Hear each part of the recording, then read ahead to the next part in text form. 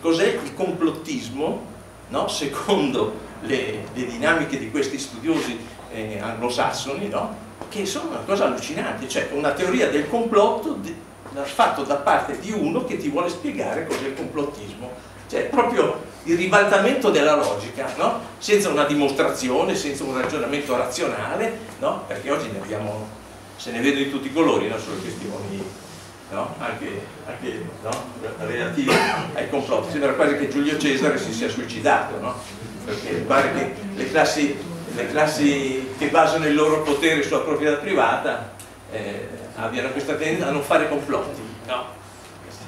Andreotti chissà cosa c'aveva nella gobba, no?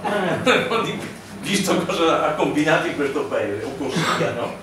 Allora, non si, se non fanno i complotti dovrebbero spiegare il perché della Gladio, quindi il perché di queste strutture in tutta Europa che guarda caso in momenti topici no? eh, scoppiano eh, atti terroristici dove cavoli lasciano sempre i documenti, i telefonini, no? E uno dice, ma cavolo, ma sono proprio una banda di rimbambiti questi qui, no? Da dove li vanno?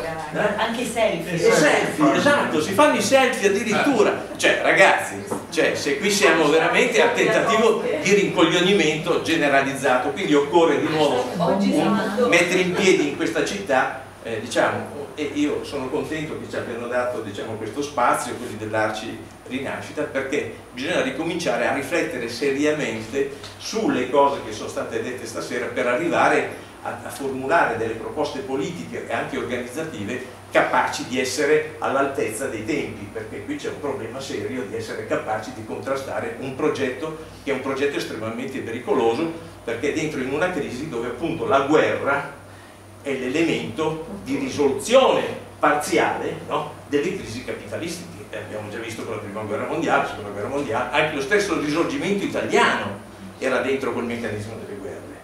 Perché se lo andiamo a studiare bene vediamo che anche quelle guerre erano funzionali, come le guerre napoleoniche, no? a determinate crisi dell'epoca. Quindi io direi mi sembra che i compagni qui abbiano dato veramente un grosso contributo, però dobbiamo imparare anche a organizzarci, modo, come diceva giustamente Claudia, in modo anche corretto, con le giuste categorie, perché senza una lettura con le categorie giuste, no? quindi ritornare ad una lettura eh, diciamo, di Marx, di Gramsci, eh, anche di Togliatti e soprattutto dandoci un'organizzazione che pratica la democrazia e la trasferisce poi nella società. Grazie.